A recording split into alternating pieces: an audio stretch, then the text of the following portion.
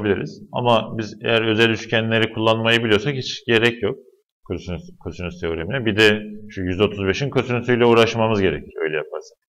Şimdi dışarıdaki açı, şu dışarıdaki açı 45 derece. Biz eğer bunu uzatıp şu A'dan dikmeye indirirsek özel üçgenle karşılaşmış oluruz. Şöyle uzatıp A'dan dikmeye indiriyorum. 45 derece, 90 derece o zaman diğer tarafta 45 olacak. Şimdi şurası özel üçgen. Hipotenüs 3, dik kenar bunun kök 2'ye bölünerek elde ediliyor. Dik kenarı kök 2'ye bölerek elde ediyor. 3 bölü kök 2 diyerek bulabiliriz. Yalnız bu çok düzgün bir sayı değil. Buradan düzgün bir sayı çıkmayacak.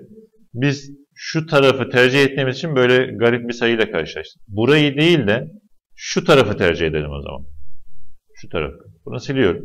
Buradan düzgün bir şey çıkmadı. Bu tarafa doğru çıkaralım üçgenimizi. Yani şöyle uzatıyorum.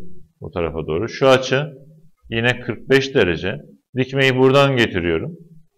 Şöyle 90 derece. Şurası da yine 45 derece. Burada çizdiğimiz mavi üçgen özel üçgen 45 45 90 üçgen.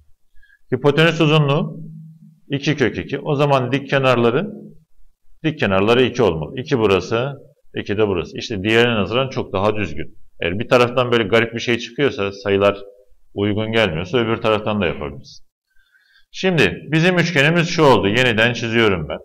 Aslında direkt buradan da yapabilirdik ama yeniden çiziyorum. Şurası B, burası A. Bir de şu dışarı doğru çizdiğimiz yere de C verilmiş. Biz D diyelim. Şurası D olsun. Şimdi şu uzunluk BD uzunluğu 2 birim çıktı. D'den A'ya kadar da 5 birim.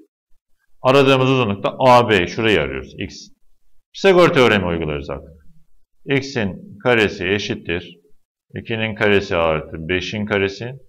Yani x'in karesi 4 artı 25. x'in karesi eşittir 29. Artık karekök alacağız.